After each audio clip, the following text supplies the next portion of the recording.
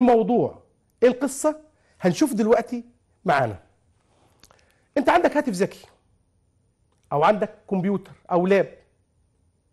أول حاجة هتعملها هتدخل على جوجل أو أي آه، موقع للبحث. وهنكتب أهو يا جاي- جايبين الصفحة بالظبط أهي. هنكتب العنوان الإلكتروني ده. اللي ظاهر قدامنا على الشاشة. أو ممكن نكتب كلمة إدمودو.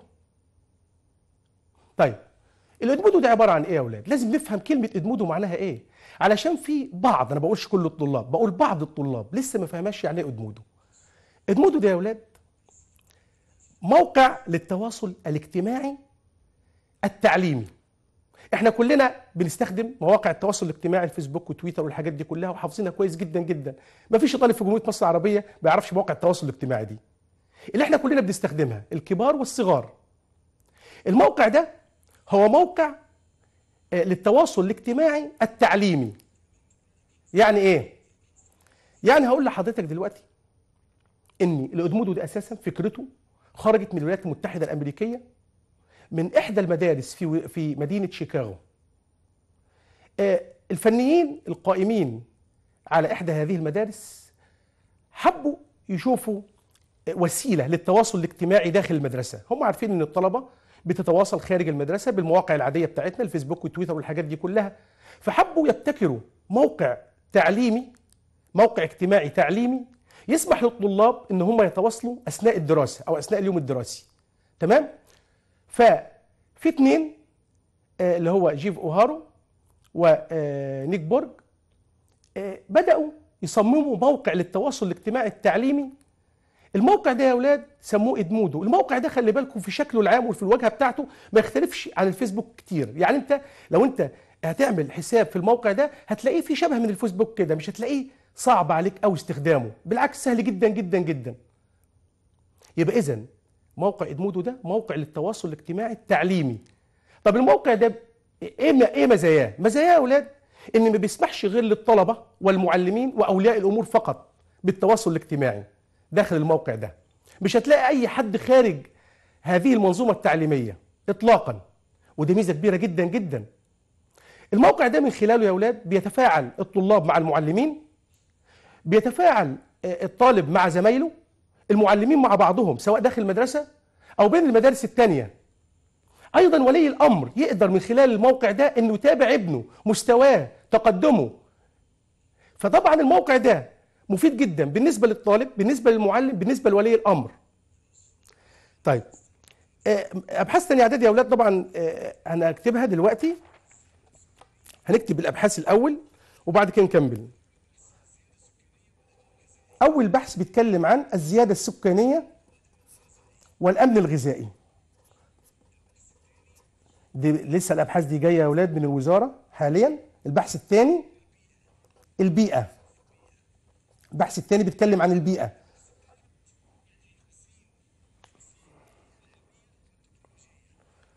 يبقى البيئة آه تحسين البيئة العلمية والتكنولوجية. دول الثلاث أبحاث يا أولاد اللي وصلونا دلوقتي. نعدل الورقة بس شوية كده. دلوقتي يا أولاد الثلاث أبحاث دول هم اللي قلنا حالا من الوزارة. أعلنت وزارة التربية والتعليم يا أولاد موضوعات البحث بالنسبة لثالثه إعدادي. الموضوع الأول الزيادة السكانية والأمن الغذائي. الدرس الثاني البيئة. الدرس الثالث أو الموضوع الثالث تحسين البيئة العلمية والتكنولوجية. دول موضوعات البحث اللي هو نزلتهم الوزارة للصف الثاني الإعدادي وهنشوف كمان شوية الموضوعات دي. نرجع لموضوعنا وهو موضوع موقع التواصل الاجتماعي التعليم ادمودو الموقع ده يا أولاد بيتيح للطالب ولي الأمر المعلم تبادل الآراء والأفكار بصورة بسيطة جدا ومتاحة. طيب يا ترى أنا كطالب هل التسجيل في الموقع ده صعب جدا؟ لا تسجيل سهل جدا يا أولاد. التسجيل إنك تعمل اكونت أو حساب على الموقع ده سهل جدا جدا من أبسط ما يكون. طيب هشوف معاكم دلوقتي خطوة خطوة وبالصور إزاي نعمل موقع على آه، المنصة التعليمية إدمودو. هنفتح أي موقع يا أولاد للبحث وليكن جوجل كده زي ما إحنا هيظهر قدامنا على الشاشة دلوقتي. وهنكتب العنوان الإلكتروني ده أو ممكن نكتب كلمة إدمودو. هتظهر لنا يا أولاد ادي العنوان الإلكتروني أهو. هتظهر لنا. آه، بس في سؤال دلوقتي جالنا قبل الحلقة معلش هنوضحه. إزاي نجيب الأكواد الأول؟ هشرح لكم طريقة الأكواد الأول. هندخل برضو على صفحة جوجل. أهي هناخد من الأول خالص أدي صفحة جوجل. هنكتب العنوان الإلكتروني ده. وهندخل على جوجل يا أولاد. أعتقد العنوان واضح قدامكم على الشاشة يا ريت نكتبه يا أولاد. العنوان ده هيدخلني على صفحة زي كده. علشان أقدر أجيب منها الكود. طبعا الكود مهم مهم جدا. من غير الكود ده ما ينفعش أساسا تدخل على موقع Edmodo. لازم الكود ده يبقى معاك. وزارة التربية والتعليم أعلنت إن الحساب بتاعك لازم يتضمن الكود. طب إزاي أجيب الكود ده؟ سهل جدا. الرقم القومي بتاعي. أكتب الرقم القومي. طب واحد يسألني هو أنا لسه ما طلعتش بطاقة. هو أنا معايا رقم قومي؟ أنا بقول بعض الطلاب مش كله. الرقم القومي يا حبيبي هو الرقم اللي موجود في شهاده الميلاد أعلى شهاده الميلاد هو الرقم القومي بتاع حضرتك. تيجي تكتب الرقم القومي هنا يا أولاد أهو تحتيه تاريخ ميلاد حضرتك بعد كده محافظة الميلاد بعد كده النوع ذكر أو أنثى. طب إيه الخطوة اللي بعد كده؟ خلاص أنا عملت النموذج ده كتبت الرقم القومي كتبت تاريخ الميلاد كتبت محافظة الميلاد كتبت النوع. أعمل تسجيل دخول. يبقى أول حاجة الرقم القومي تاريخ الميلاد محافظة الميلاد النوع. هعمل تسجيل دخول. بعد ما أعمل تسجيل دخول هيدخلني على الصفحة دي. هلاقي اسم الطالب وليكن أحمد مثلا. معلش إحنا خافين البيانات يا ولاد عشان ده اكونت حقيقي. اسم الطالب. أهو هيظهر لك. الرقم القومي برضه هيظهر لك مرة تانية وهيديك الكود. يبقى أول حاجة هتظهر لك اسم الطالب. تاني حاجة هتظهر لك الرقم القومي. تالت حاجة هتظهر لك كود الطالب. آخر حاجة هتظهر لك اسم المدرسة اللي حضرتك ملتحق بيها. إيه اللي يهمني في الموضوع ده كله؟ الكود. أهو كود الطالب. الكود ده يا أولاد لازم تسجله عندك في ورقة. ليه؟ أنا هستخدمه دلوقتي. يبقى جميع الطلبة مطالبين بإن هم يعرفوا الكود بتاعهم من خلال الموقع اللي أنا قلت لكم عليه. من خلال الرقم القومي بتاعك هتوصل للكود. الكود ده هتحتفظ بيه وهتكتبه في ورقة عندك تمام؟ لأنك هتستخدمه بعد كده في حاجات كتير جدا. تمام؟ يبقى أنا كده معايا الكود بتاع الطالب. عرفت الكود بتاعي أحتفظ بيه. أعمل إيه بعد كده؟ علشان أسجل على موقع إدمودو. أدخل على آه، صفحة البحث وأكتب كلمة إدمودو أو أكتب العنوان الإلكتروني اللي يظهر قدامكم على الشاشة أهو. أهو يا أولاد. أو ممكن أكتب كلمة ادمودو طبعا يا أولاد آه، في صفحات بتبقى بالعربي في صفحات بالانجلش تمام؟ هدخل على الصفحة دي يا أولاد.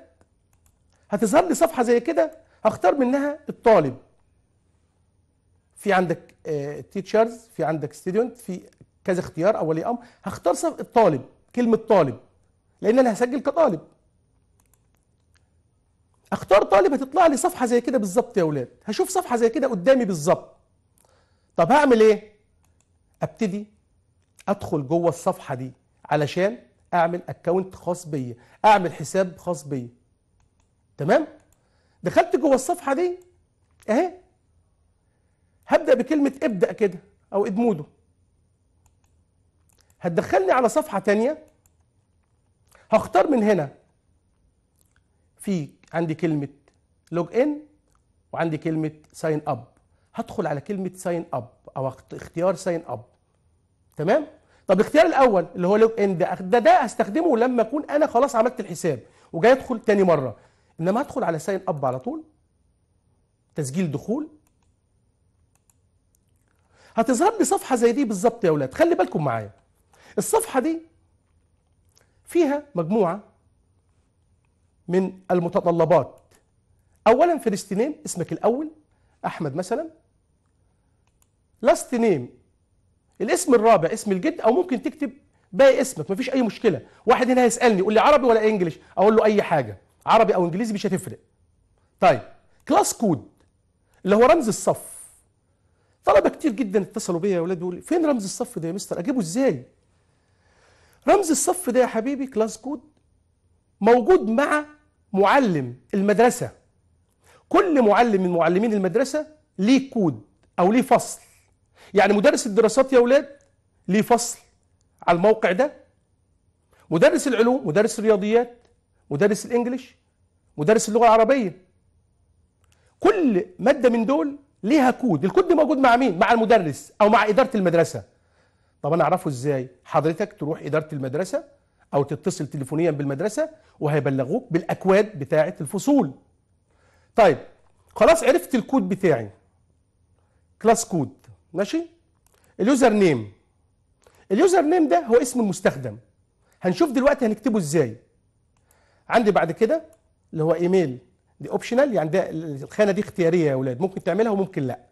بعد كده هتكتب الباسورد وبعد كده هتسجل دخول مجاني تسجيل دخول مجاني. خلي بالكم معايا. هنا مثلا إحنا الاسم الأول أحمد. الاسم الثاني محمد اسم الجد. أو ممكن تكتب اسمك باقي اسمك هنا عادي. طب ليه نكتب باقي اسمنا؟ علشان المدرس يعرف يميز بين الطلاب لأن في أسماء متشابهة. الكود ده أهو هو رمز الفصل أو كود الفصل. ده أخده من فين ده؟ أخده من المدرس. مدرس الفصل أو إدارة المدرسة هتديني الكود ده. الكود بتاع مادة معينة. آه ده بالنسبة لي أنا الكود بتاع الدراسات دلوقتي.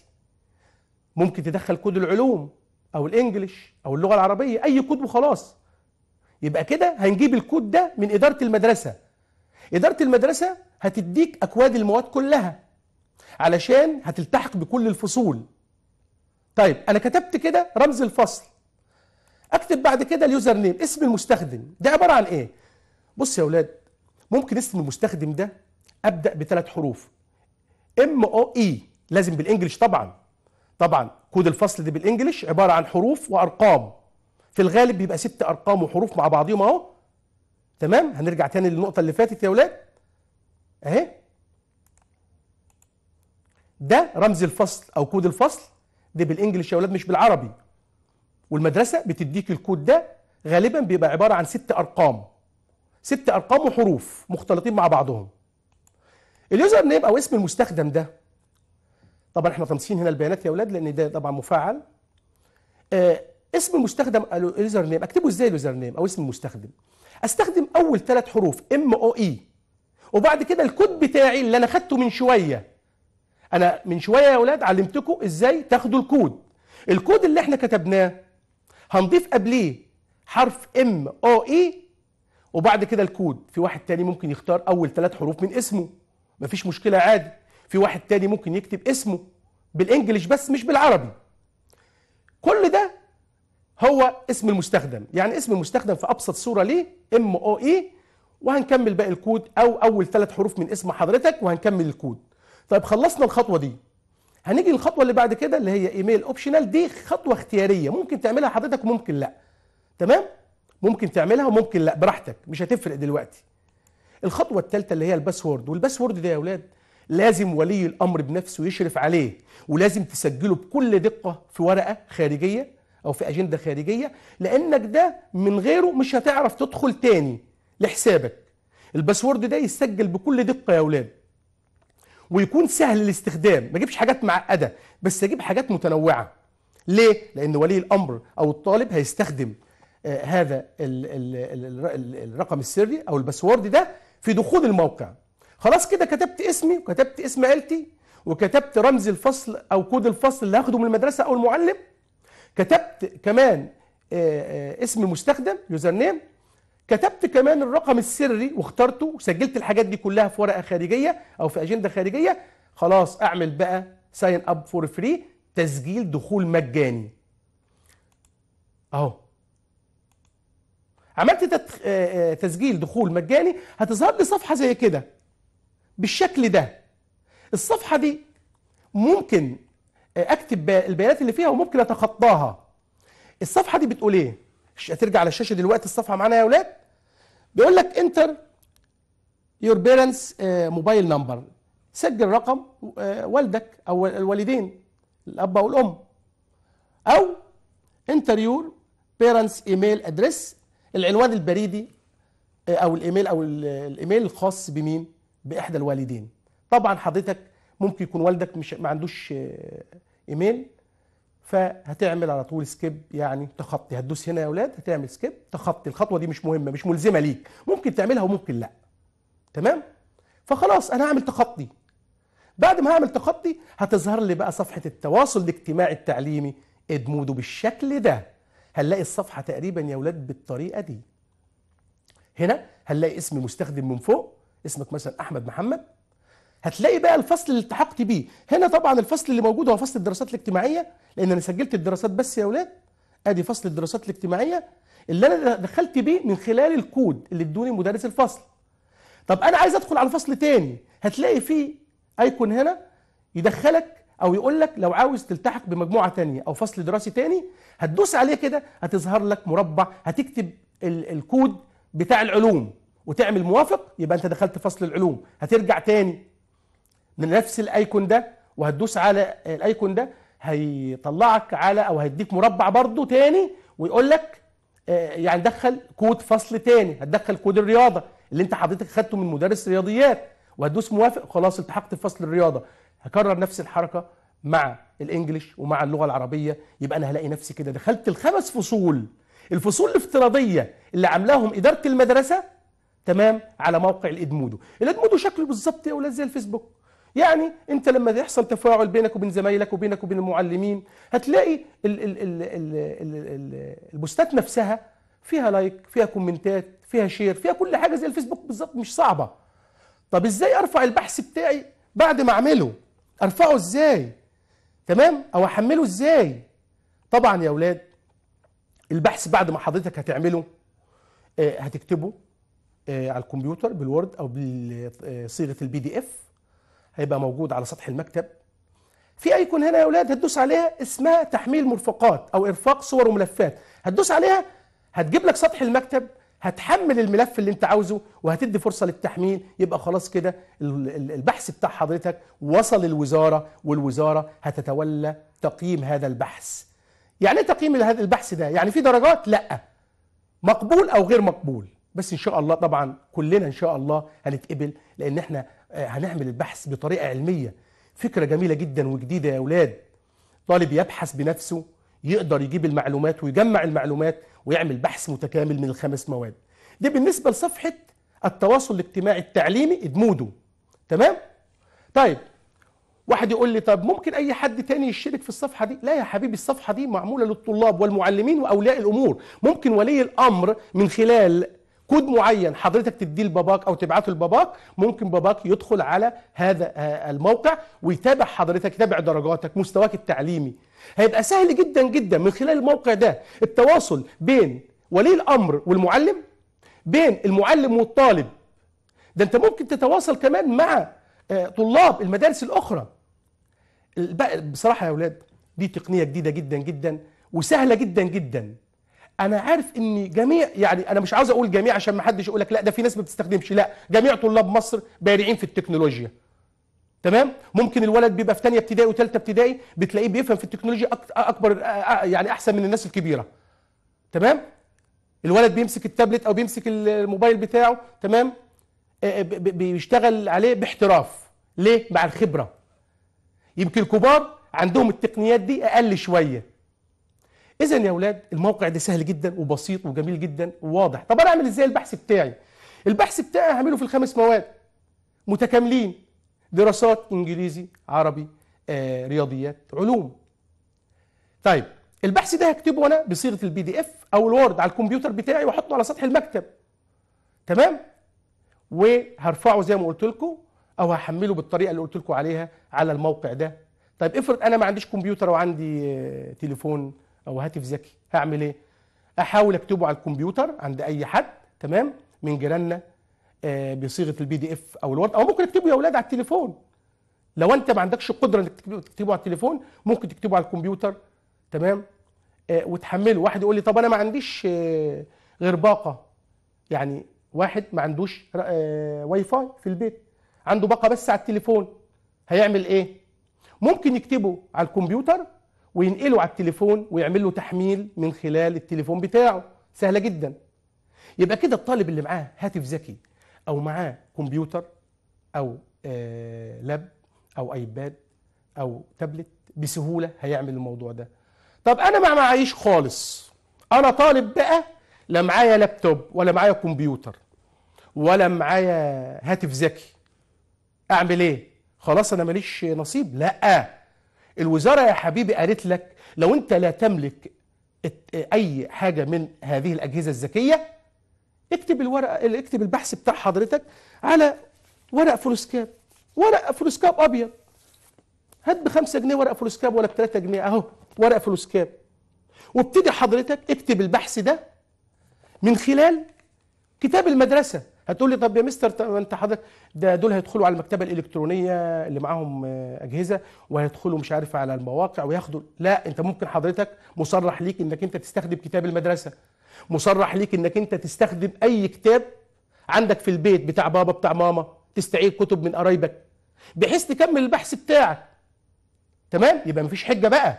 أنا معايا كتاب المدرسة هعمل من خلاله البحث أو الكتب المتوفره في الاسكاب أول حاجة عنوان البحث. ما ينفعش إن أنا أعمل بحث من غير ما أكتب عنوانه. إزاي يعني؟ العنوان هو الأساس. أكتب عنوان البحث بتاعي. بحث مثلا عن الزيادة السكانية والأمن الغذائي. ده عنوان البحث اللي حددته الوزارة واللي لسه واصل لنا دلوقتي. عنوان البحث مثلا عن البيئة. عنوان البحث تحسين البيئة العلمية والتكنولوجية. تمام. يبقى عنوان البحث خلاص معروف. تاني حاجة هكتبها كود الطالب أو الطلاب. لو أنا هعمله لوحدية هكتب الكود بتاعي. لو أنا مجموعة من خمسة هكتب الخمس أكواد. واحد يقول لي طب يا مستر ما أكتب اسمي وخلاص. أسهل. لا يا حبيبي ممنوع تكتب اسمك على البحث. تكتب كود الطالب. أو لو أنتوا مجموعة من الطلاب اشتركتوا في البحث تكتبوا أنتوا الخمسة الأكواد بتاعتكم على البحث. طب الخطوة الثالثة هعمل مقدمة للبحث مقدمة عن الموضوع. موضوع مثلا الزيادة السكانية والأمن الغذائي هكتب مقدمة عن الموضوع ده مقدمة عن البيئة. تمام؟ بعد ما كتبت المقدمة متن البحث يعني هكتب العناصر هبتدي أتكلم في عناصر البحث اللي أنا جمعتها. العناصر اللي أنا جمعتها هبتدي أكتبها.